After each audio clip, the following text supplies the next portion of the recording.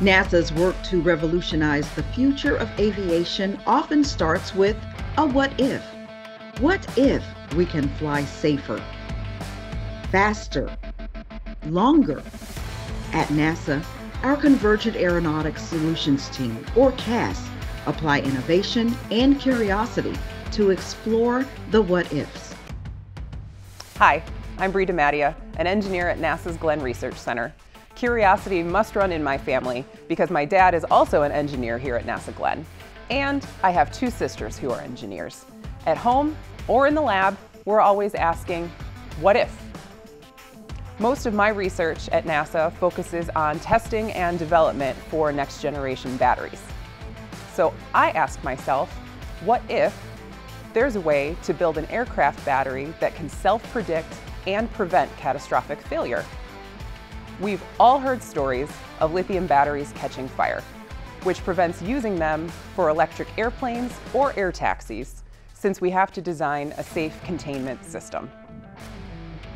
To address this challenge, our team is working on sensor-based prognostics to avoid runaway reactions and catastrophic ignition, or SPARRCI, to provide safer batteries.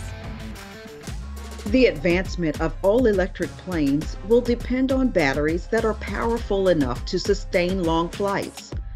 More energy placed in a battery could increase the severity of a fire, and electric airplanes don't have the luxury of pulling over to the side of the road like an electric car.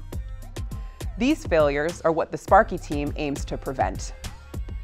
We already know that chemical and structural changes occur inside of a battery before it catches fire.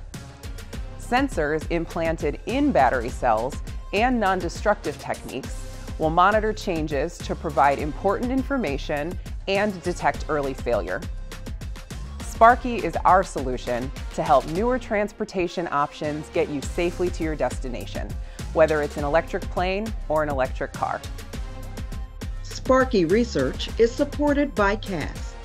To learn more about SPARRCI, CAS, and other NASA projects, visit www.nasa.gov/cas.